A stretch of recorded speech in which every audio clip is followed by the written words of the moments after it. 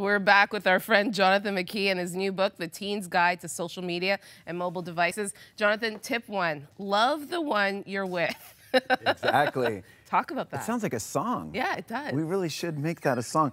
Yeah, no, it, that's that whole concept. Uh, you know, this, there's so much research on this. As a matter of fact, Sherry Turkle, New York Times bestselling author of Reclaiming Conversation, talks about this with adults. Mm. This isn't just a teen problem. This is a people problem. We love our devices so much. And Sherry said in one of her books or articles, I remember her saying that the mere presence of the phone on the table or in the periphery of your vision of two people, you go out to eat and you've got the phone there, it's kind of like, uh, there's this, you're important to me unless this yes. rings. And that chapter is really sharing some of that research actually and talking to a frustration that teenagers know so well. The thing that you shared when you opened this is, you know, about half of teenagers are kind of frustrated with how much this device is taking mm. over.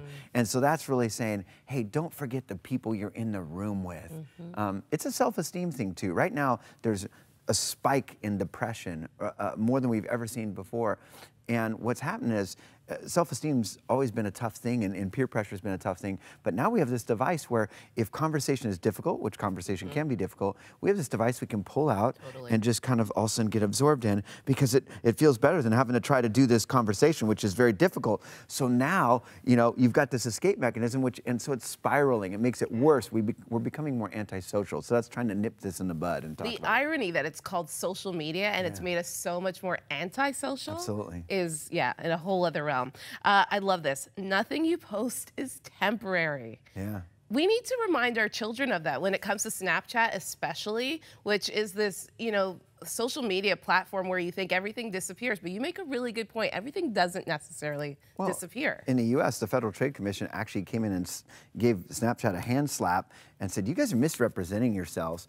Uh, and this was in 2014. They said, "You guys keep saying these pictures disappear. Then how come, you know, every time I get on a high school campus?"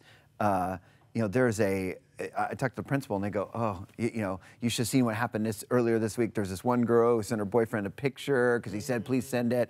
You know, they ended up breaking up. Boyfriend sent it to everyone. And before you know it, the whole school had it.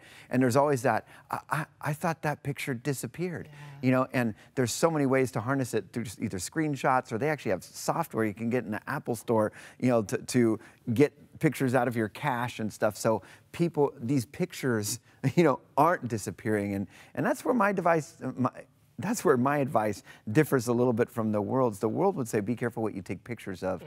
And in this book, I talk about be careful how you live. Mm -hmm. Be mm-hmm. careful how you live your life. That You never know when someone's taking a picture. And you know what? Uh, th there's somebody who is watching all the time. And we need to be careful how we live our lives.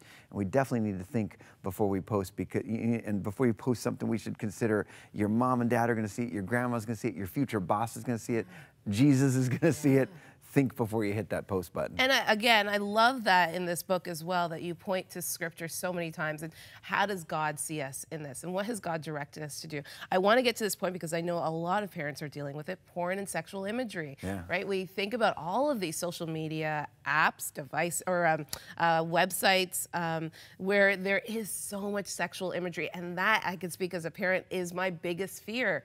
Is my little innocent little Ethan and soon to be Joshua stumbling upon these things. Yeah, yeah. It, it's a reality. It's the world we live in.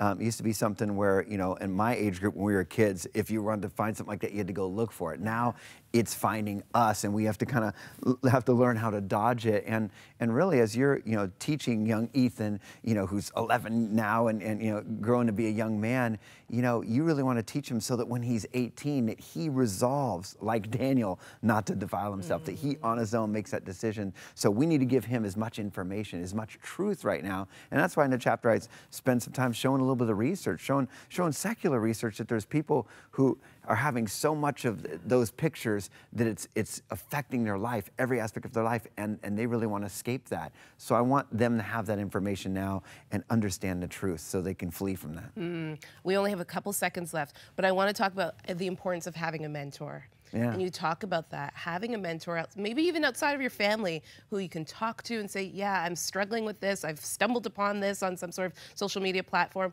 How do I deal with it?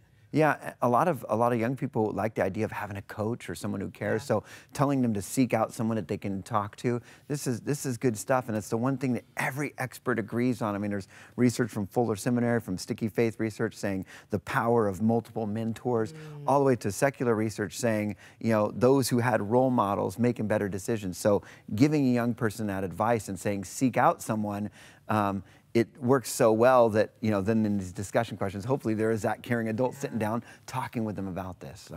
Thank you so much once oh, again. Always. the book is called the teens guide to social media and mobile devices 21 tips to wise posting in an insecure world. I'm telling you i'm giving this to my boys. It's definitely needed today. Stay with us. We'll be right back